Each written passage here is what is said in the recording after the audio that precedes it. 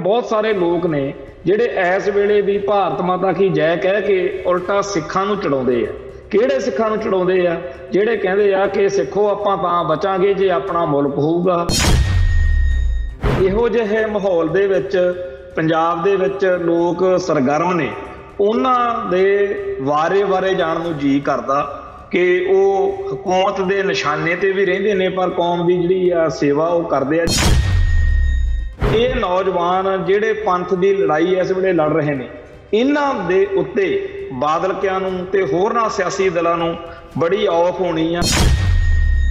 ਜਿਵੇਂ ਪਹਿਲਾਂ ਰੁਲਦਾ ਸਿੰਘ ਨੇ ਬਹੁਤ ਸਾਰੇ ਸਿੱਖ ਦਾਗੀ ਕੀਤੇ ਸੀ, ਕਾਣੇ ਕੀਤੇ ਸੀ, ਹੁਣ ਉਹਨਾਂ ਨੇ ਇਕਬਾਲ ਸਿੰਘ ਲਾਲਪੁਰਾ ਮੂਰੇ ਕਰ ਲਿਆ ਇਕਬਾਲ ਸਿੰਘ ਲਾਲਪੁਰਾ ਉਹੀ ਪੁਲਿਸ ਅਧਿਕਾਰੀ ਆ ਜਿਨੇ 1982 ਦੇ ਵਿੱਚ ਬਿਆਸ ਥਾਣੇ ਦੇ ਥਾਣੇਦਾਰ ਹੁੰਦਿਆਂ ਉਹ ਜੀਪ ਰੋਕੀ, ਜਿਹਦੇ ਵਿੱਚ ਸਿੰਘ ਜਾਂਦੇ ਸੀ, ਸੰਤਾਂ ਦੇ ਕੋਲੋਂ ਮਹਿਤਾ ਚੌਂਕ ਤੋਂ ਤੇ ਬਾਬੇ ਬਕਾਲੇ ਰੋਕ ਕੇ ਉਹਨਾਂ ਦੇ ਉੱਤੇ ਪਰਚਾ ਦਰਜ ਕਰਤਾ।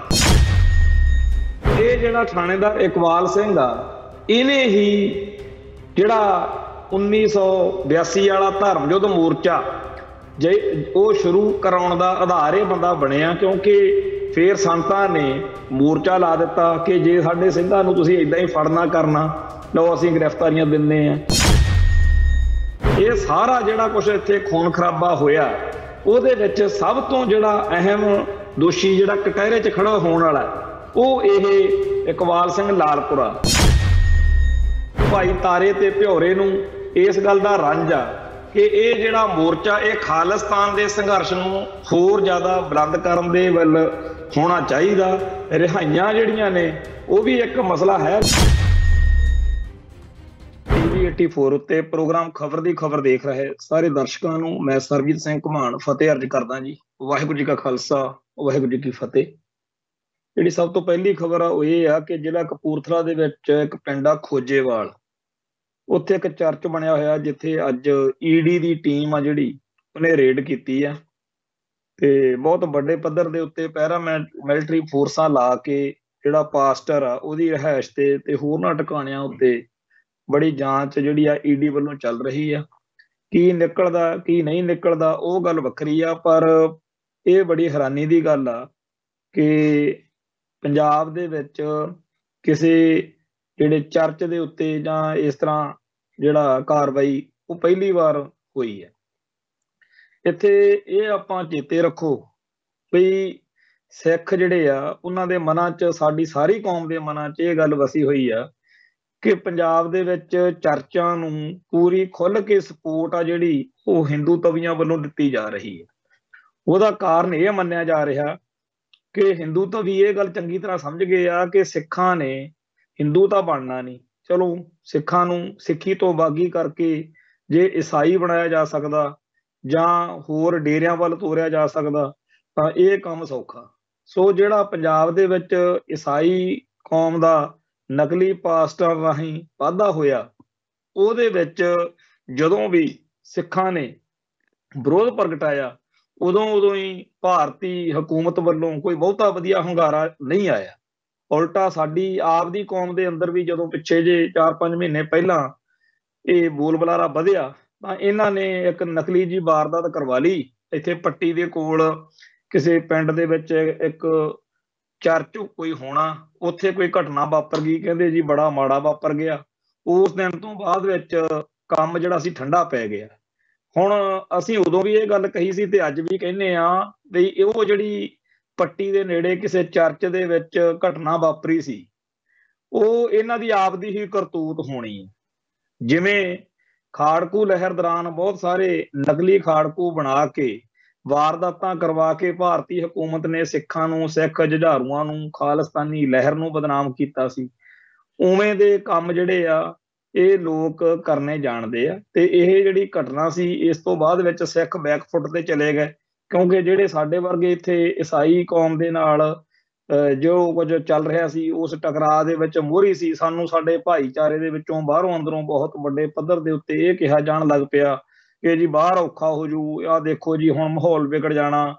ਤੋਂ ਉਹ ਚੀਜ਼ ਜਿਹੜੀ ਸੀਗੀ, ਉਦੋਂ ਵੀ ਸਾਨੂੰ ਬੜੀ ਪੀੜ ਦਿੰਦੀ ਸੀ, ਉਹ ਅੱਜ ਵੀ ਪੀੜ ਦਿੰਦੀ ਆ ਕਿ ਪੰਜਾਬ ਦੀ ਧਰਤੀ ਉੱਤੇ ਸਾਡੀ ਕੌਮ ਨੂੰ ਅੰਦਰੋਂ ਅੰਦਰ ਖੋਰਾ ਲਾਉਣ ਵਾਲੀਆਂ ਬਹੁਤ ਸਾਰੀਆਂ ਤਾਕਤਾਂ ਦੇ ਵਿੱਚ ਸਭ ਤੋਂ ਜਿਹੜਾ ਖਤਰਨਾਕ ਸਾਬਤ ਹੋ ਰਹੇ ਨੇ, ਉਹ ਇਹ ਨਕਲੀ ਈਸਾਈ ਪਾਸਟਰ ਨੇ, ਜਿਹੜੇ ਬਹੁਤ ਸਾਰੇ ਪੱਗਾਂ ਵੀ ਬੰਨਦੇ ਆ, ਸਿੱਖਾਂ ਵਰਗੇ ਚਿਹਰੇ ਮੋਹਰੇ ਨੇ, ਨੌ ਵੀ ਉਹ ਸਿੱਖਾਂ ਵਰਗੇ ਰੱਖਦੇ ਆ। ਤੇ ਸਿੱਖਾਂ ਨੂੰ ਭਰਮਾ ਕੇ ਹੌਲੀ-ਹੌਲੀ ਉਹਨਾਂ ਨੂੰ ਸਿੱਖੀ ਤੋਂ ਬਾਗੀ ਕਰਕੇ ਇਹ ਲੋਕ ਜੋ ਕੁਝ ਕਰ ਰਹੇ ਨੇ, ਉਹ ਸਾਡੀ ਕੌਮ ਦੇ ਹਿੱਤਾਂ ਲਈ ਬੜਾ ਖਤਰਨਾਕ ਆ। ਇਹਦੇ ਨਾਲ ਜੁੜਮੀ ਇੱਕ ਖਬਰ ਬਿਲਕੁਲ ਇਹੋ ਜਿਹੀ, ਜਿਵੇਂ ਇੱਥੇ ਅਸੀਂ ਕਹਿੰਦੇ ਆ ਕਿ ਪੱਟੀ ਦੇ ਵਿੱਚ ਆਪ ਹੀ ਵਾਰਦਾਤ ਕਰਕੇ ਇਹਨਾਂ ਨੇ ਸਿੱਖਾਂ ਨੂੰ ਵਿਵਤਾ ਪਾ ਛੱਡੀ। ਉਵੇਂ ਦੀ ਮੈਲਬੌਰਨ ਆਸਟ੍ਰੇਲੀਆ ਦੇ ਵਿੱਚ ਵਾਪਰੀ ਆ। ਉੱਥੇ ਕੱਲ ਜਿਹੜਾ ਜੂਤ ਪਤਾਨ ਹੋਇਆ ਵਾ, ਜਦੋਂ ਉੱਥੇ ਜਿਹੜਾ ਵੋਟਾਂ ਵਾਲਾ ਚੱਕਰ ਚੱਲਿਆ, ਜਿਹੜੀਆਂ ਰੈਫਰੈਂਡਮ ਵਾਲੀਆਂ ਵੋਟਾਂ ਚੱਲ ਰਹੀਆਂ ਉੱਥੇ, ਖਾਲਸਤਾਨ ਰੈਫਰੈਂਡਮ ਮੈਲਬੌਰਨ 2023 ਉੱਥੇ ਇੱਕ ਮੰਦਰ ਦੇ ਉੱਤੇ ਬੜਾ ਰੌਲਾ ਪਿਆ ਪਿਛਲੇ ਦਿਨਾਂ ਦੇ ਵਿੱਚ, ਵੀ ਕੋਈ ਖਾਲਸਤਾਨੀ ਨਾਰੇ ਲਿਖ ਗਿਆ। ਉੱਥੇ ਇਹ ਚਰਚਾ ਵੀ ਚੱਲਦੀ ਰਹੀ ਕਿ ਜੀ ਸੰਤ ਭਿੰਡਰਾਂ ਵਾਲਿਆਂ ਦੀਆਂ ਜਾਂ ਹੋਰ ਨਾ ਜਿਹੜੀਆਂ ਫਲੈਕਸਾਂ ਵਗੈਰਾ ਨੇ ਜਾਂ ਗੁਰਦੁਆਰਿਆਂ ਦੇ ਉੱਤੇ ਕੋਈ ਕਾਲੀ ਸਪਰੇਅ ਮਾਰ ਜਾਂਦਾ। ਇਹ ਜਿਹੜਾ ਸਾਰਾ ਕੁਝ ਚੱਲਦਾ ਰਿਹਾ, ਉਹਦੇ ਵਾਸਤੇ ਉੱਥੋਂ ਦੇ ਨੌਜਵਾਨਾਂ ਨੂੰ ਵਧਾਈ ਦੇਣੀ ਬਣਦੀ ਆ। ਉਹਨਾਂ ਨੇ ਉਹ ਦੋਸ਼ੀ ਫੜ ਲਏ, ਜਿਨ੍ਹਾਂ ਦੀ ਵੀਡੀਓ ਆ ਜਿਹੜੀ, ਉਹਦੇ ਵਿੱਚ ਉਹ ਸਾਫ਼ ਮੰਨਦੇ ਆ ਕਿ ਅਸੀਂ ਗੁਜਰਾਤ ਵੱਲਦੇ ਆ ਤੇ ਅਸੀਂ ਹੀ ਮੰਦਰਾਂ ਦੇ ਉੱਤੇ ਖਾਲਸਤਾਨੀ ਨਾਰੇ ਲਿਖੇ ਸੀ। ਅਸੀਂ ਹੀ ਮਤਲਬ ਸੰਤਾਂ ਭਿੰਡਰਾਂ ਵਾਲਿਆਂ ਦੀਆਂ ਫੋਟੋਆਂ ਉੱਤੇ ਤੇ ਹੋਰ ਗੁਰਦੁਆਰਿਆਂ ਦੇ ਉੱਤੇ ਜਿਹੜੀ ਕਾਲੀ ਸਿਹਾਈ ਆ, ਉਹ ਫੇਰਦੇ ਰਹੇ। ਫੜ ਕੇ ਉਹਨਾਂ ਨੂੰ ਪੁਲਿਸ ਦੇ ਹਵਾਲੇ ਕਰਤਾ, ਪਰ ਹਵਾਲੇ ਕਰਨ ਤੋਂ ਪਹਿਲਾਂ ਜਿਵੇਂ ਉਹਨਾਂ ਦੀ ਨੌਜਵਾਨਾਂ ਨੇ ਵੀਡੀਓ ਬਣਾ ਕੇ ਸਾਰੀ ਗੱਲ ਨੰਗੀ ਕੀਤੀ ਆ, ਇਹ ਗੱਲ ਬੜੀ ਵਧੀਆ ਕੀਤੀ ਆ। ਸਾਡੀ ਕੌਮ ਦੇ ਬਹੁਤ ਸਾਰੇ ਬੰਦਿਆਂ ਨੂੰ ਵੀ ਵਹਿਮ ਪਿਆ ਰਹਿੰਦਾ ਵੀ ਖਨੀ ਸਿੱਖ ਜਿਹੜੇ ਆ ਉਹਨਾਂ ਨੇ ਨਾ ਇਹ ਕਰਤਾ ਹੋਵੇ।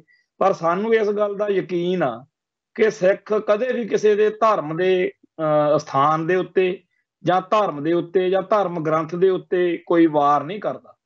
ਸਿੱਖ ਕਿਸੇ ਹਿੰਦੂ ਨਾਲ ਲੜ ਸਕਦਾ, ਕਿਸੇ ਮੁਸਲਮਾਨ ਨਾਲ ਲੜ ਸਕਦਾ, ਕਿਸੇ ਈਸਾਈ ਨਾਲ ਲੜ ਸਕਦਾ, ਪਰ ਸਿੱਖ ਕਦੇ ਕਿਸੇ ਜਿਹੜਾ ਮੰਦਰ, ਮਸਜਿਦ ਜਾਂ ਚਰਚ ਦੇ ਉੱਤੇ ਹਮਲਾ ਕਰਨ ਦੀ ਸੋਚ ਨਹੀਂ ਰੱਖ ਸਕਦਾ। ਖਾੜਕੂ ਲਹਿਰ ਦੇ ਦੌਰਾਨ ਜਦੋਂ ਪੂਰੀ ਇੱਥੇ ਸੰਘਰਸ਼ ਪੂਰਾ ਜੋਰਾਂ ਤੇ ਸੀ, ਉਹਨਾਂ ਦਿਨਾਂ ਦੇ ਵਿੱਚ 1986 ਦੀ ਗੱਲ ਆ, ਬਈ ਫਰਵਰੀ ਮਹੀਨੇ ਦੇ ਵਿੱਚ ਨਕੋਦਰ ਦੇ ਵਿੱਚ ਇੱਕ ਗੁਰਦੁਆਰਾ ਸਾਹਿਬ ਦੇ ਵਿੱਚ ਗੁਰੂ ਗ੍ਰੰਥ ਸਾਹਿਬ ਜੀ ਦੇ ਪਾਵਨ ਸਰੂਪਾਂ ਨੂੰ ਤੇ ਹੋਰ ਜਿਹੜਾ ਗੁਰਦਰ ਦਾ ਸਮਾਨ ਆ, ਉਹਨੂੰ ਅੱਗ ਲਾਈ ਗਈ। ਉਹਦੇ ਵਿਰੋਧ ਵਿੱਚ ਜਦੋਂ ਸੰਗਤਾਂ ਆਈਆਂ ਤਾਂ ਹਿੰਦੂ ਸਿਵ ਸੈਨਾ ਤੇ ਹੋਰ ਕੱਟੜਪੰਥੀਆਂ ਨੇ ਸਿੱਖਾਂ ਉੱਤੇ ਪੁਲਿਸ ਨਾਲ ਰਲ ਕੇ ਜਿਹੜਾ ਸੀ ਕਹਿਰ ਢਾਇਆ, ਇਜਹਾਰ ਆਲਮ ਤੇ ਹੋਰ ਅਫਸਰਾਂ ਨੇ ਉੱਥੇ ਉਹ ਗੋਲੀ ਕਾਂਡ ਕੀਤਾ ਜੀ ਚਾਰ ਸਿੰਘ ਸ਼ਹੀਦ ਹੋ ਗਏ। ਹਰ ਸਾਲ ਉਹਨਾਂ ਦਾ ਫਰਵਰੀ ਦੇ 4 ਤਰੀਕ ਨੂੰ ਦਿਨ ਵੀ ਮਨਾਇਆ ਜਾਂਦਾ, ਇਸ ਵਾਰ ਵੀ ਮਨਾਇਆ ਜਾਊਗਾ। ਉਹਨਾਂ ਦੀਆਂ ਫੋਟੋਆਂ ਵੀ, ਕਿਉਂਕਿ ਉਹ ਬਰਨਾਲਾ ਸਰਕਾਰ ਮੁਖੇ ਕੰਮ ਹੋਇਆ ਸੀ ਤੇ ਸ਼੍ਰੋਮਣੀ ਕਮੇਟੀ ਨੇ ਹੁਣ ਤੱਕ ਤਾਂ ਨਹੀਂ ਜਲਾਈਆਂ, ਪਰ ਪਿਛਲੇ ਸਾਲ ਉਹ ਫੋਟੋਆਂ ਜਿਹੜੀਆਂ ਨੇ ਕੇਂਦਰੀ ਸਿੱਖ ਅਜਾਇਬ ਘਰ 'ਚ ਲਾ ਦਿੱਤੀਆਂ ਗਈਆਂ ਚਾਰਾਂ ਨੌਜਵਾਨਾਂ ਦੀਆਂ, ਉਹ ਫੈਡਰੇਸ਼ਨ ਦੇ ਸਿੰਘ ਸੀ।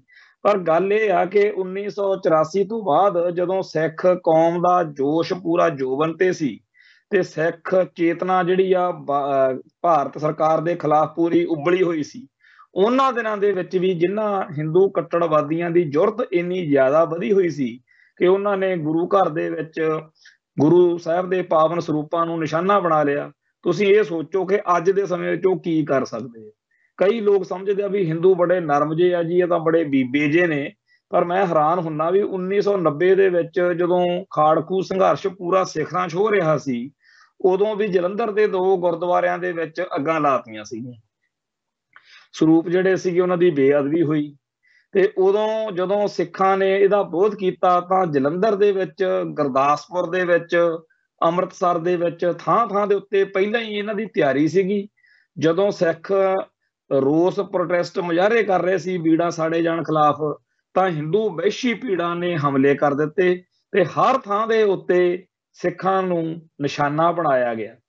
ਇਹ ਉਹਨਾਂ ਦਿਨਾਂ ਦੀ ਗੱਲ ਆ, ਜਦੋਂ ਖਾੜਕੂ ਲਹਿਰ ਪੂਰੇ ਜੋਗਣ ਤੇ ਸੀ। ਇਸ ਕਰਕੇ ਫਿਰ ਪ੍ਰਤੀਕਿਰਿਆ ਦੇ ਵਿੱਚ ਗੁਰਦਾਸਪੁਰ ਦੇ ਵਿੱਚ ਗੋਲੀ ਕਾਂਡ ਹੋਇਆ, ਅੰਮ੍ਰਿਤਸਰ ਦੇ ਵਿੱਚ ਗੋਲੀ ਕਾਂਡ ਹੋਇਆ, ਜਲੰਧਰ 'ਚ ਵੀ ਹੋਇਆ, ਲੁਧਿਆਣੇ 'ਚ ਵੀ ਹੋਇਆ ਕਿਲਿਆਂ ਵਾਲੀ ਜਿਹੜਾ ਹੈ ਅਬੋਰ ਫਾਜ਼ਿਲਕਾ ਵਾਲੇ ਪਾਸੇ, ਉੱਥੇ ਆਰਐਸਐਸ ਦੇ ਕਾਫੀ ਸਾਰੇ ਬੰਦਿਆਂ ਨੂੰ ਨਿਸ਼ਾਨਾ ਬਣਾਇਆ ਗਿਆ ਤੇ ਇੱਧਰ ਚੰਡੀਗੜ੍ਹ ਦੇ ਕੋਲ ਇੱਕ ਬੱਸ ਘੇਰ ਕੇ ਉਹਦੇ ਵਿੱਚ ਵੀ ਸੋਧਾ ਲੱਗਿਆ।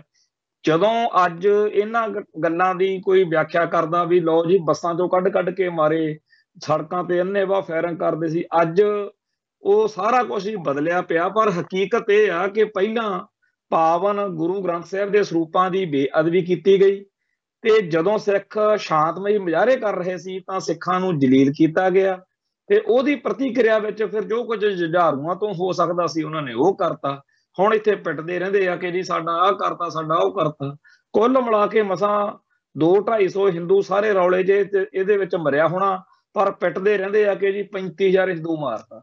ਜਦੋਂ ਕਿ 35000 ਹਿੰਦੂ ਤਾਂ ਕੀ ਇਸ ਵੇਲੇ ਭਾਰਤ ਸਰਕਾਰ ਦੇ ਆਪਦੇ ਅੰਕੜੇ ਆ ਕਿ ਮਸਾਂ 21000 ਬੰਦਾ ਜੀ ਸਾਰੀ ਉਸ ਘਟਨਾ ਵਾਰਦਾਤਾਂ ਦੇ ਦੌਰਾਨ 1978 ਤੋਂ 1995 ਤੱਕ ਜਿਹੜਾ ਪੰਜਾਬ ਦੇ ਵਿੱਚ ਮਾਰਿਆ ਗਿਆ।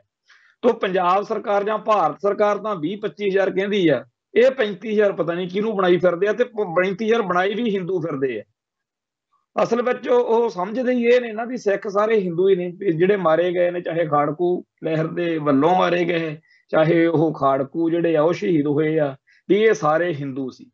ਸੋ ਇਹ ਜਿਹੜਾ ਸਾਰਾ ਕੁਝ ਚੱਲ ਰਿਹਾ, ਇਹਦੇ ਵਿੱਚ ਸਿੱਖਾਂ ਨੂੰ ਇਹ ਗੱਲ ਸੋਚ ਲੈਣੀ ਚਾਹੀਦੀ ਆ ਵੀ ਐਵੇਂ ਬੜਾ ਯਕੀਨ ਜਾਂ ਨਾ ਕਰਿਆ ਕਰੋ ਇਹ ਲੋਕ ਖਾੜਕੂ ਲਹਿਰ ਦੇ ਦਿਨਾਂ ਦੇ ਵਿੱਚ ਤਾਂ ਟਲੇ ਨਾ। ਉਦੋਂ ਇੱਥੇ ਬਟਾਲੇ ਦੇ ਵਿੱਚ ਜੋ ਕੁਝ ਇਹਨਾਂ ਨੇ ਚੱਕਰੀ ਬਾਜ਼ਾਰ ਦੇ ਵਿੱਚ ਕੀਤਾ, ਹਰ ਸ਼ਹਿਰ ਦੇ ਵਿੱਚ ਇਹੋ ਜਿਹੇ ਗੁੰਡੇ ਬਦਮਾਸ਼। ਅੱਜ ਉਹ ਟੀਵੀ ਚੈਨਲਾਂ ਦੇ ਉੱਤੇ, ਸੋਸ਼ਲ ਮੀਡੀਆ ਉੱਤੇ ਜਿਹੜਾ ਗੰਦ ਪਾਉਂਦੇ ਆ, ਅੱਜ ਹੋਰ ਤਰੀਕੇ ਨਾਲ ਉਹ ਤੰਗ ਕਰਦੇ ਆ ਸਿਧੀਰ ਸੂਰੀ ਵਰਗੇ। ਉਦੋਂ ਹੋਰ ਤਰੀਕੇ ਨਾਲ ਸੀ। ਤੇ ਉਦੋਂ ਵੀ ਸਿਆਸੀ ਭਲਵਾਨ ਇਹਨਾਂ ਦੇ ਨਾਲ ਸੀ। ਅੱਜ ਵੀ ਸਰਦਾਰ ਸੁਖਵੀਰ ਸਿੰਘ ਬਾਦਲ ਦੇ ਨਾਲ, ਜਿਹਦੀ ਮਰਜ਼ੀ ਫੋਟੋ ਮੰਗ ਲਓ। ਉਹਦੀ ਫੋਟੋ ਤੁਹਾਨੂੰ ਮਿਲ ਜੀ। ਆ ਜਿਹੜਾ ਹਿੰਦੂ ਸ਼ਿਵਸ਼ਾਨਾ ਵਾਲੇ ਪਵਨ ਹੁਣੀ ਆ, ਪਟਿਆਲੇ ਵਾਲੇ, ਇਹ ਸੰਤ ਭਿੰਡਰਾਂ ਵਾਲਿਆਂ ਦੇ ਵੇਲੇ ਤੋਂ ਸਿੱਖ ਜਜ਼ਬਾਤਾਂ ਨੂੰ ਲਾਂਬੂ ਲਾਉਂਦੇ ਰਹੇ ਆ ਤੇ ਸਰਦਾਰ ਸੁਖਵੀਰ ਸਿੰਘ ਬਾਦਲ ਨੇ ਵੋਟਾਂ ਵੇਲੇ ਇਹਨਾਂ ਨਾਲ ਸਮਝੌਤਾ ਕੀਤਾ ਸੀ। ਹਜੇ ਕਹਿੰਦੇ ਅਸੀਂ ਸਿੱਖ ਜਜ਼ਬਾਤਾਂ ਦੀ ਬੜੀ ਕਦਰ ਕਰਦੇ ਆ। ਸਾਨੂੰ ਜਿਹੜਾ ਹੈਗਾ ਪੰਥ ਦਾ ਬੜਾ ਦਰਦ ਵਾ। ਸੋ ਇਹ ਜਿਹੜੇ ਲੋਕ ਨੇ ਪੰਜਾਬ ਦੇ ਵਿੱਚ ਸਿੱਖੀ ਅਤੇ ਸਿੱਖਾਂ ਦੇ ਖਿਲਾਫ ਭੁਗਤਣ ਵਾਲੇ ਹਮੇਸ਼ਾ, ਇਹਨਾਂ ਨੇ ਚਾਹੇ ਸਿੱਖ ਅਸਾਈ ਬਣਨ, ਚਾਹੇ ਸਿੱਖ ਡੇਰਾ ਸਰਸਾ ਜਾਣ ਲੱਗਣ, ਚਾਹੇ ਸਿੱਖ ਭਨਿਆਰੇ ਜਾਣ ਲੱਗਣ, ਚਾਹੇ ਸਿੱਖ ਹਿੰਦੂ ਬਣਨ, ਇਹ ਸਾਰੇ ਇਸ ਗੱਲ ਲਈ ਤਾਂ ਤਿਆਰ ਨੇ। ਪਰ ਇਹ ਲੋਕ ਕਦੇ ਵੀ ਪੰਥ ਦੀ ਚੜ੍ਹਦੀ ਕਲਾ ਜਿਹੜੀ ਆ, ਉਹ ਬਰਦਾਸ਼ਤ ਨਹੀਂ ਕਰ ਸਕਦੇ। ਇਹਨਾਂ ਨੂੰ ਇਸ ਗੱਲ ਦਾ ਸਦਾ ਹੀ ਡਰ ਪਿਆ ਰਹਿੰਦਾ, ਚਾਹੇ ਉਹ ਬਾਦਲ ਦਲ ਵਾਲੇ ਨੇ, ਚਾਹੇ ਉਹ ਕੋਈ ਹੋਰ ਸਿਆਸੀ ਪਹਿਲਵਾਨ ਆ, ਬਈ ਜੇ ਸਿੱਖਾਂ ਦੇ ਵਿੱਚ ਸਿੱਖੀ ਜਜ਼ਬਾ ਬੁਲੰਦ ਹੋਊਗਾ ਉਹਨਾਂ ਸਾਨੂੰ ਵੋਟ ਬੈਂਕ ਘਟੂਗਾ ਕਿਉਂਕਿ ਜਿਹੜਾ ਕਲਗੀਧਰ ਦਾ ਲਾਲ ਆ ਨਾ, ਉਹਨੇ ਕਦੇ ਮਾਤਾ ਦੇ ਮਾਲ ਨੂੰ ਵੋਟ ਨਹੀਂ ਪਾਉਂਦੀ ਸੋ ਇਹਨਾਂ ਨੂੰ ਚਾਹੀਦੇ ਨੇ ਉਹ ਲੋਕ ਜਿਹੜੇ ਬੀਬੇ ਬਾਲਕ ਬਣ ਕੇ ਇਹਨਾਂ ਦੇ ਮਗਰ ਲੱਗੇ ਫਿਰਨ ਤੇ ਇਹਨਾਂ ਦੀ ਜੈ ਜੈਕਾਰ ਕਰਦੇ ਰਹਿਣ, ਜਿਨ੍ਹਾਂ ਬਾਰੇ ਸਰਦਾਰ ਕਪੂਰ ਸਿੰਘ ਲਿਖਦੇ ਹੁੰਦੇ ਸੀ, ਬਈ ਭੇਡਾਂ ਬੱਕਰੀਆਂ ਜਿਹੜੀਆਂ ਨੇ, ਉਹ ਵੀ ਜਦੋਂ ਉਹਨਾਂ ਨੂੰ, ਉਹਨਾਂ ਦਾ ਜਿਹੜਾ ਟਰਾਲਾ ਹੁੰਦਾ ਜੀ ਚ ਲੱਦ ਕੇ ਉਹਨਾਂ ਨੂੰ ਲਿਜਾਂਦੇ ਆ ਜਦੋਂ ਬੁੱਚੜਖਾਨੇ ਦੇ ਕੋਲ ਚਲੇ ਜਾਂਦਾ ਟਰਾਲਾ, ਉਹ ਭੱਜ ਕੇ ਨਿਕਲਣ ਦਾ ਯਤਨ ਕਰਦੀਆਂ ਭੇਡਾਂ। ਤੇ ਅਸੀਂ ਕਹਿੰਦੇ ਅਕਸਰ ਅੱਖੀ ਵੀ ਦੇਖਦੀਆਂ, ਦੇਖੇ ਆ ਇਹ ਮਸਲੇ।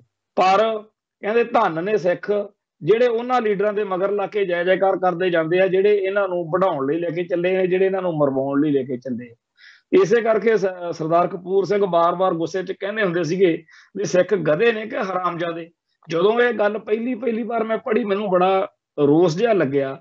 ਪਰ ਜਦੋਂ ਹੁਣ ਸਿੱਖ ਕੌਮ ਦੇ ਵਿੱਚ ਬਹੁਤ ਸਾਰੇ ਲੋਕਾਂ ਦੀ ਮਾਨਸਿਕਤਾ ਵੱਲ ਦੇਖੀਦਾ, ਉਦੋਂ ਲੱਗਦਾ ਕਿ ਸਰਦਾਰ ਜੀ ਨੇ ਤਾਂ ਹਜੇ ਬਹੁਤ ਢਿੱਲੇ ਸ਼ਬਦ ਵਰਤੇ ਆ, ਕਿਉਂਕਿ ਬਹੁਤ ਸਾਰੇ ਲੋਕ ਨੇ ਜਿਹੜੇ ਇਸ ਵੇਲੇ ਵੀ ਭਾਰਤ ਮਾਤਾ ਕੀ ਜੈ ਕਹਿ ਕੇ ਉਲਟਾ ਸਿੱਖਾਂ ਨੂੰ ਚੜਾਉਂਦੇ ਆ। ਕਿਹੜੇ ਸਿੱਖਾਂ ਨੂੰ ਚੜਾਉਂਦੇ ਆ? ਜਿਹੜੇ ਕਹਿੰਦੇ ਆ ਕਿ ਸਿੱਖੋ ਆਪਾਂ ਤਾਂ ਬਚਾਂਗੇ, ਜੇ ਆਪਣਾ ਮੁਲਕ ਹੋਊਗਾ, ਆਪਣੇ ਧਰਮ ਦਾ ਬਚਣਾ ਔਖਾ ਵਾ, ਜੇਕਰ ਸਿੱਖੀ ਬਚਾਉਣੀ ਆ ਤਾਂ ਆਪਾਂ ਨੂੰ ਖਾਲਿਸਤਾਨ ਦੀ ਸਿਰਜਣਾ ਕਰਨੀ ਚਾਹੀਦੀ ਆ ਇਹ ਸਿੱਖਾਂ ਨੂੰ ਚੜਾਉਣ ਦੇ ਲਈ ਕਹਿੰਦੇ ਨੇ ਕਿ ਨਹੀਂ ਜੀ, ਹਿੰਦੁਸਤਾਨ ਜਿੰਦਾਬਾਦ, ਅਸੀਂ ਜੀ ਆਹ ਕਰਾਂਗੇ, ਉਹ ਕਰਾਂਗੇ। ਸੋ ਜਿਹੜਾ ਇਹੋ ਜਿਹੇ ਮਾਹੌਲ ਦੇ ਵਿੱਚ, ਪੰਜਾਬ ਦੇ ਵਿੱਚ ਲੋਕ ਸਰਗਰਮ ਨੇ, ਉਹਨਾਂ ਦੇ ਵਾਰੇ-ਵਾਰੇ ਜਾਣ ਨੂੰ ਜੀ ਕਰਦਾ ਕਿ ਉਹ ਹਕੂਮਤ ਦੇ ਨਿਸ਼ਾਨੇ ਤੇ ਵੀ ਰਹਿੰਦੇ ਨੇ, ਪਰ ਕੌਮ ਦੀ ਜਿਹੜੀ ਆ ਸੇਵਾ ਉਹ ਕਰਦੇ ਆ। ਜਿਵੇਂ ਹੁਣ ਕੌਮੀ ਇਨਸਾਫ ਮੋਰਚਾ ਲੱਗਿਆ ਹੋਇਆ ਉੱਥੇ ਜਿਸ ਤਰੀਕੇ ਨਾਲ ਇਹ ਸਰਗਰਮ ਨੇ ਨੌਜਵਾਨ, ਜਿਹੜੇ ਕੌਮ ਦੀ ਚੜ੍ਹਦੀ ਕਲਾ ਲੋਚਦੇ ਆ, ਇਹੋ ਜਿਹੇ ਹੀ ਬਾਹਰਲੇ ਮੁਲਕਾਂ 'ਚ ਨੇ, ਚਾਹੇ ਉਹ ਸਿਆਟਲ 'ਚ ਪ੍ਰੋਗਰਾਮ ਹੋਵੇ, ਚਾਹੇ ਕੈਨੇਡਾ 'ਚ ਸਰੀ 'ਚ ਕੋਈ ਪ੍ਰੋਗਰਾਮ ਕਰ ਲਓ, ਚਾਹੇ ਕੋਈ ਜਿਵੇਂ ਮੈਲਬੌਰਨ ਕੱਲ ਕੀਤਾ ਤੇ ਚਾਹੇ ਪੰਜਾਬ ਦੇ ਵਿੱਚ ਜਿਵੇਂ ਹੁਣ ਚੰਡੀਗੜ੍ਹ ਮੋਰਚਾ ਲੱਗਿਆ ਹੋਇਆ, ਚਾਹੇ ਭਾਈ ਸਖਰਾਜ ਸਿੰਘ ਵਾਲਾ, ਬਹਿਬਲ ਕਲਾਂ ਵਾਲਾ ਮੋਰਚਾ ਹੋਵੇ, ਚਾਹੇ ਕੋਈ ਹੋਰ ਕਾਰਵਾਈ ਹੋਵੇ। ਅੱਜ ਦੀ ਸਿੱਖ ਨੌਜਵਾਨੀ ਉੱਤੇ ਇਸ ਗੱਲ ਦਾ ਸਾਨੂੰ ਮਾਣ ਆ ਕਿ ਇਹ ਲੋਕ ਆਪਦੇ ਧਰਮ ਲਈ, ਆਪਦੀ ਕੌਮ ਲਈ ਲੜਦੇ ਮਰਦੇ ਨੇ। ਅੱਜ ਜਦੋਂ ਇਹ ਖਬਰ ਆਈ ਕਿ ਜਿਹੜੀ ਵਾਰਸ ਪੰਜਾਬ ਦੇ ਜਥੇਬੰਦੀ ਆ, ਜਿਹਦਾ ਪ੍ਰਧਾਨ ਤਲਵਾੜੇ ਹੁਣੀ ਆ, ਉਹਦੇ ਜਿਹੜੇ ਕਾਗੂ ਨੇ ਭਾਈ ਹਰਨੇਕ ਸਿੰਘ ਫੌਜੀ, ਉਹਨਾਂ ਨੂੰ ਸੀਏ ਸਟਾਫ ਜਲੰਧਰ ਵਾਲਿਆਂ ਨੇ ਚੱਕ ਲਿਆ। ਤੋਂ ਨਾਲ ਦੀ ਨਾਲ ਸਾਰੀ ਸਿੱਖ ਨੌਜਵਾਨੀ ਨੇ ਉਹਦੇ ਹੱਕ ਵਿੱਚ ਲਿਖਿਆ ਵੀ ਤੇ ਇਹ ਵੀ ਵਿਉਂਤਬੰਦੀ ਬਣਾਈ ਕਿ ਆਪਾਂ ਉਹਦੇ ਲਈ ਕੋਈ ਧਰਨਾ ਮੁਜ਼ਾਹਰਾ ਕਰੀਏ। ਸੋ ਇਹ ਨੌਜਵਾਨ ਜਿਹੜੇ ਪੰਥ ਦੀ ਲੜਾਈ ਇਸ ਵੇਲੇ ਲੜ ਰਹੇ ਨੇ, ਇਹਨਾਂ ਦੇ ਉੱਤੇ ਬਾਦਲਕਿਆਂ ਨੂੰ ਤੇ ਹੋਰਨਾਂ ਸਿਆਸੀ ਦਲਾਂ ਨੂੰ ਬੜੀ ਔਖ ਹੋਣੀ ਆ, ਕਿਉਂਕਿ ਜੇਕਰ ਤਾਂ ਇਹ ਲੋਕ, ਇਹ ਨੌਜਵਾਨ ਇਹਨਾਂ ਸਿਆਸੀ ਪ੍ਰਵਾਨਾਂ ਦੀ ਅਧੀਨਗੀ ਮੰਨ ਕੇ ਚੱਲਣ, ਫੇਰ ਤਾਂ ਇਹਨਾਂ ਨੂੰ ਲੱਗਣ ਇਹ ਵਧੀਆ, ਪਰ ਇਹ ਆਜ਼ਾਦ ਵਿਚਰਦੇ ਨੇ, ਆਪਦੇ ਫੈਸਲੇ ਆਪ ਲੈਂਦੇ ਨੇ, ਉੱਪਰੋਂ ਇਹ ਸਿੱਖ ਸੰਘਰਸ਼ ਦੇ ਨਾਇਕ ਭਾਈ ਜਗਤਾਰ ਸਿੰਘ ਹਵਾਰੇ ਵਰਗਿਆਂ ਦੀ ਬੋਲੀ ਨੂੰ ਸਮਝਦੇ ਆ, ਪਿਆਰ ਕਰਦੇ ਆ, ਉਹਨਾਂ ਦਾ ਸਾਥ ਦਿੰਦੇ ਆ, ਉਹਨਾਂ ਦੇ ਮੋਰਚਿਆਂ 'ਚ ਜਾਂਦੇ ਆ। ਇਸ ਕਰਕੇ ਇਹ ਨੌਜਵਾਨੀ ਆ ਜਿਹੜੀ, ਇਹ ਬਾਦਲਕਿਆਂ ਨੂੰ ਤੇ ਬਾਦਲ ਸੈਨਾ ਨੂੰ ਤੇ ਹੋਰਨਾਂ ਸਿਆਸੀ ਦਲਾਂ ਨੂੰ ਪ੍ਰਵਾਨ ਨਹੀਂ ਹੈ। ਹੁਣ ਅਗਲੀ ਜਿਹੜੀ ਅਹਿਮ ਗੱਲ ਕਰਨ ਵਾਲੀ ਆ, ਉਹ ਇਹ ਹੈ ਕਿ ਭਾਈ ਜਗਤਾਰ ਸਿੰਘ ਤਾਰਾ ਡੇਕ ਵਾਲਾ ਤੇ ਭਾਈ ਪਰਮਜੀਤ ਸਿੰਘ ਪਿਉਰਾ ਉਹਨਾਂ ਦੋਨਾਂ ਨੇ ਆਪਦੇ ਵਕੀਲ, ਐਡਵੋਕੇਟ ਸਿਮਰਨਜੀਤ ਸਿੰਘ ਦੇ ਰਾਹੀਂ ਆਪਦੇ ਵਿਚਾਰ ਆ ਜਿਹੜੇ, ਉਹ ਸੰਗਤਾਂ ਨਾਲ ਸਾਂਝੇ ਕੀਤੇ ਆ। ਬੜੀਆਂ ਲੰਮੀਆਂ ਚੌੜੀਆਂ ਉਹਨਾਂ ਨੇ ਗੱਲਾਂ ਕੀਤੀਆਂ ਨੇ, ਪਰ ਅਸੀਂ ਇਹ ਸਮਝਦੇ ਹਾਂ ਕਿ ਜਿਹੜਾ ਉਹਨਾਂ ਨੇ ਸੁਨੇਹਾ ਦਿੱਤਾ ਨਾ, ਕਿ ਜਿਵੇਂ ਪਹਿਲਾਂ ਰੁਲਦਾ ਸਿੰਘ ਨੇ ਬਹੁਤ ਸਾਰੇ ਸਿੱਖ ਦਾਗੀ ਕੀਤੇ ਸੀ, ਕਾਣੇ ਕੀਤੇ ਸੀ, ਹੁਣ ਉਹਨਾਂ ਨੇ ਇਕਵਾਲ ਸਿੰਘ ਲਾਲਪੁਰਾ ਮੂਰੇ ਕਰ ਲਿਆ। ਇਕਵਾਲ ਸਿੰਘ ਲਾਲਪੁਰਾ ਉਹੀ ਪੁਲਿਸ ਅਧਿਕਾਰੀ ਆ ਜਿਨੇ 1982 ਦੇ ਵਿੱਚ ਬਿਆਸ ਥਾਣੇ ਦੇ ਥਾਣੇਦਾਰ ਹੁੰਦਿਆਂ ਉਹ ਜੀਪ ਰੋਕੀ, ਜਿਹਦੇ ਵਿੱਚ ਸਿੰਘ ਜਾਂਦੇ ਸੀ, ਸੰਤਾਂ ਦੇ ਕੋਲੋਂ ਮਹਿਤਾ ਚੌਂਕ ਤੋਂ ਤੇ ਬਾਬੇ ਬਕਾਲੇ ਰੋਕ ਕੇ ਉਹਨਾਂ ਦੇ ਉੱਤੇ ਪਰਚਾ ਦਰਜ ਕਰਤਾ। ਉਹਨਾਂ ਨੂੰ ਛਡਾਉਣ ਲਈ, ਉਹਨਾਂ ਦੀ ਪੈਰਵਾਈ ਲਈ ਜਦੋਂ ਭਾਈ ਅਮਰੀਕ ਸਿੰਘ ਤੇ ਬਾਬਾ ਠਾਰਾ ਸਿੰਘ ਤੇ ਹੋਰ ਸਿੰਘ ਆਏ, ਉਹਨਾਂ ਤੇ ਵੀ ਮੁਕੱਦਮਾ ਦਰਜ ਕਰਤਾ। ਤੋ ਇਹ ਜਿਹੜਾ ਥਾਣੇਦਾਰ ਇਕਬਾਲ ਸਿੰਘ ਆ, ਇਹਨੇ ਹੀ ਜਿਹੜਾ 1982 ਵਾਲਾ ਧਰਮ ਯੁੱਧ ਮੋਰਚਾ, ਜੇ ਉਹ ਸ਼ੁਰੂ ਕਰਾਉਣ ਦਾ ਆਧਾਰ ਇਹ ਬੰਦਾ ਬਣਿਆ ਕਿਉਂਕਿ ਫੇਰ ਸੰਤਾਂ ਨੇ ਮੋਰਚਾ ਲਾ ਦਿੱਤਾ ਕਿ ਜੇ ਸਾਡੇ ਸਿੰਘਾਂ ਨੂੰ ਤੁਸੀਂ ਇਦਾਂ ਹੀ ਫੜਨਾ ਕਰਨਾ, ਲਓ ਅਸੀਂ ਗ੍ਰਿਫਤਾਰੀਆਂ ਦਿੰਨੇ ਆ।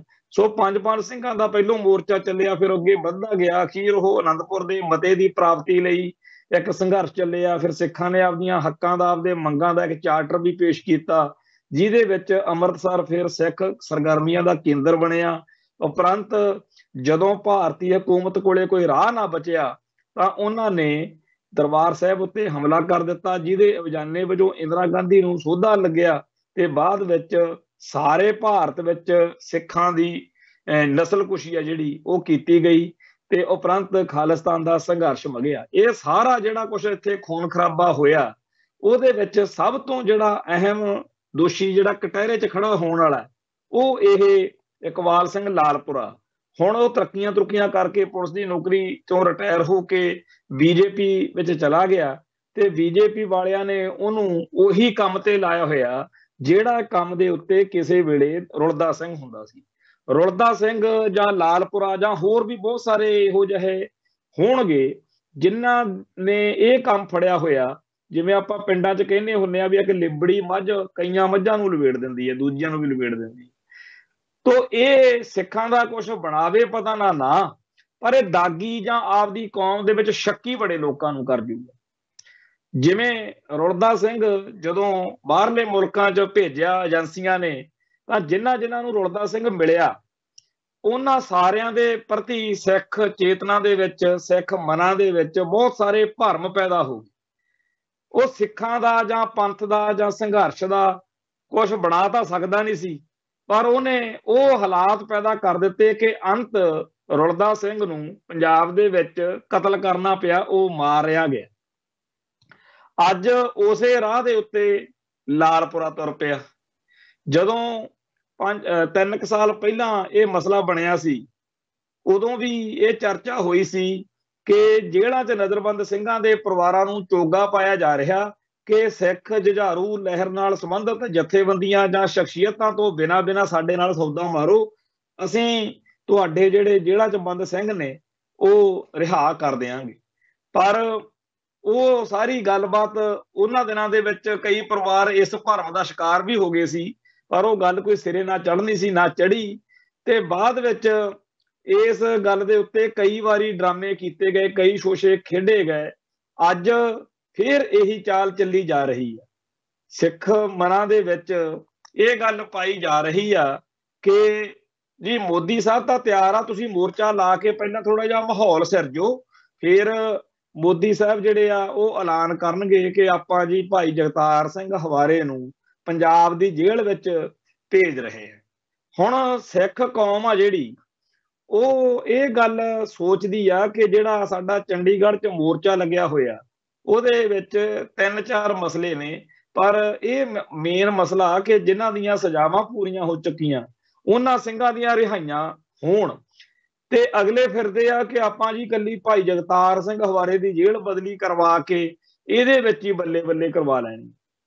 ਤੇ ਗੱਲ ਹੁਣ ਇਹ ਬਣੀ ਹੋਈ ਆ ਕਿ ਜਿਹੜਾ ਭਾਈ ਜਗਤਾਰ ਸਿੰਘ ਹਵਾਰਾ ਹੈ, ਉਹ ਤਾਂ ਹੈਗਾ ਤਿਹਾੜ ਜੇਲ੍ਹ ਦੇ ਵਿੱਚ ਦਿੱਲੀ।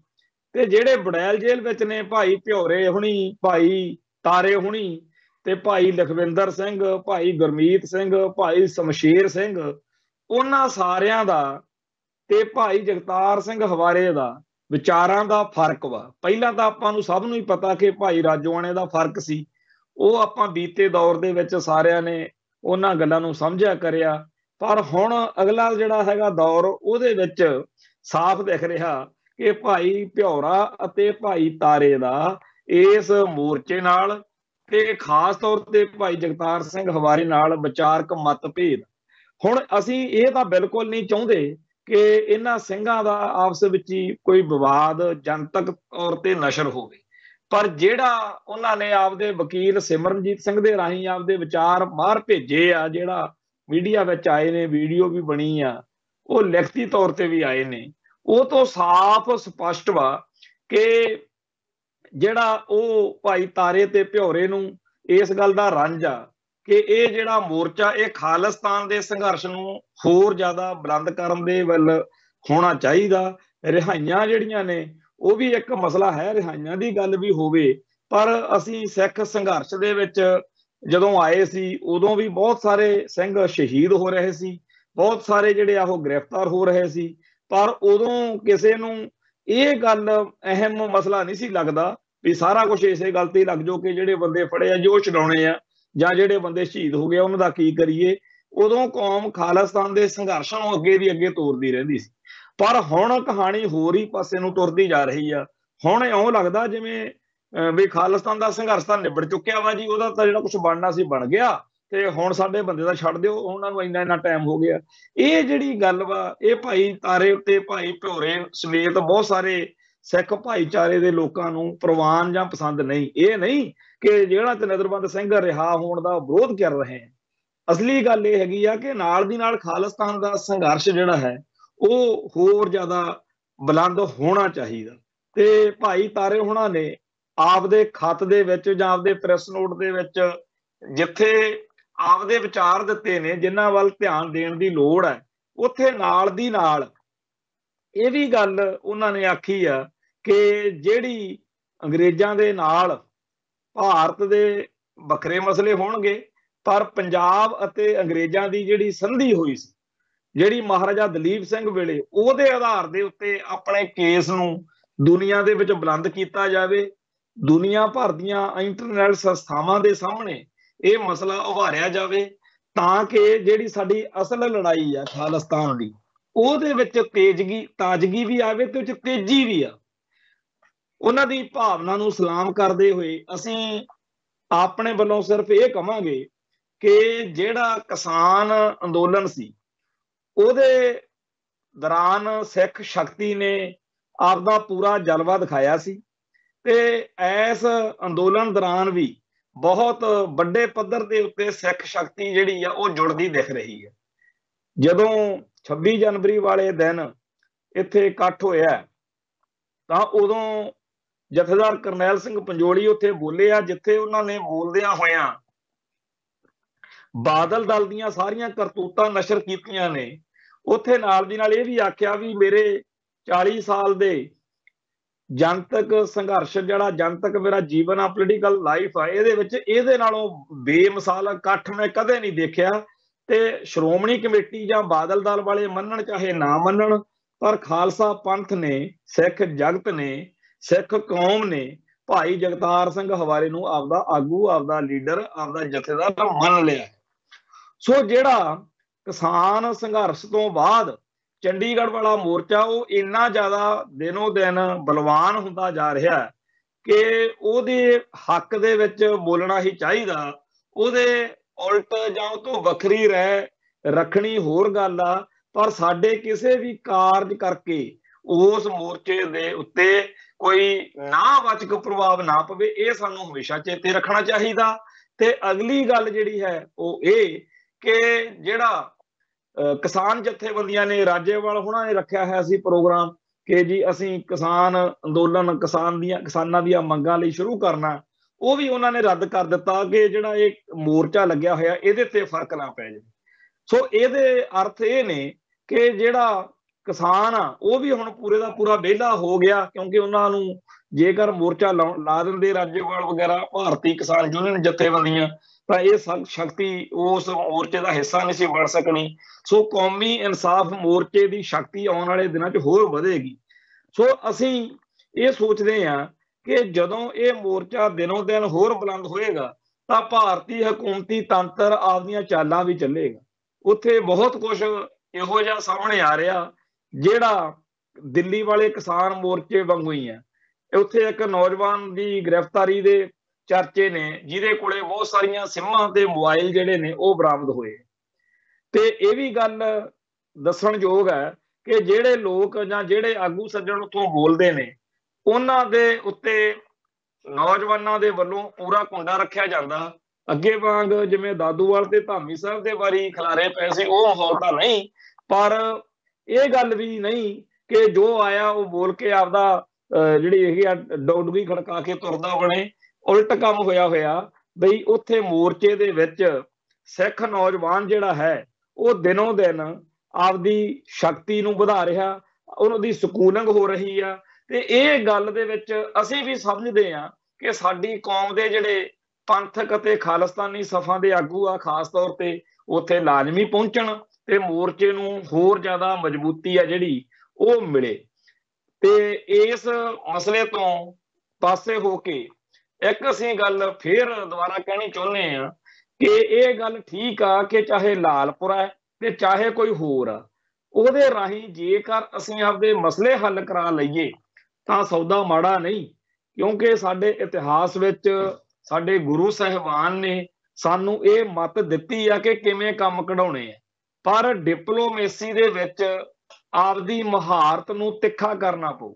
ਇਹ ਨਾ ਹੋਵੇ ਕਿ ਅਸੀਂ ਆਪਦੇ ਲੋਕਾਂ ਦੇ ਵਿੱਚ ਆਪਦਾ ਵਕਾਰ ਵੀ ਖਤਮ ਕਰਵਾ ਕੇ ਬਹਿ ਜਾਈਏ ਤੇ ਸਾਨੂੰ ਪ੍ਰਾਪਤੀ ਵੀ ਕੁਝ ਨਾ ਹੋਵੇ।